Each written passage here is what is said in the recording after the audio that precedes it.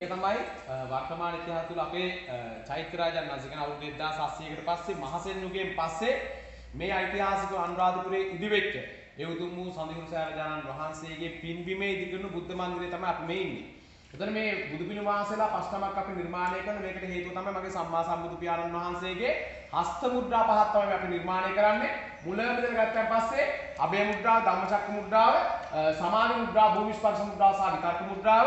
අභය මුද්‍රාව කියන්නේ මගේ බුදු පියාණන් වහන්සේගේ මහා කරුණා ගුණය, ධම්මචක්ක මුද්‍රාව කියන්නේ ඕනෑ බුදු කෙනෙක් පහළ වෙන පස්සේ අනිවාර්ය ධර්මතාවයක් තියෙන පළවෙනි ධර්ම දේශනාව පවත්වන්නේ බරණස් සිසපතනේ නිගදායේ. ඒක තමයි ධම්මචක්කප්පවත්තන සූත්‍රයේ මොහොතේ වැඩි වෙන විදිය. මේකෙන් සමාධිගත එක්තරාට වැඩි වෙන විදිය මේ තියෙන පාරමී උපපාරමී පරමත්ත පාරමී අසංකේය කල්පලක්ෂ හතරක් පුරුල බුදු වුණා වගේ මේ මහ පොළොව සාක්ෂි කරනකොට මාරයට කියන මොහොත.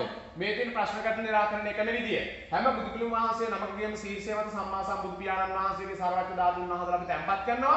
ඌර්ණ රෝග ධාතු රත්තරන් වලින් නිර්මාණය කරන නිර්මාණ මණිකක් මැද අපි ඔබ වල තියෙන මේ උඩ තියෙන පිත්තල වියන්.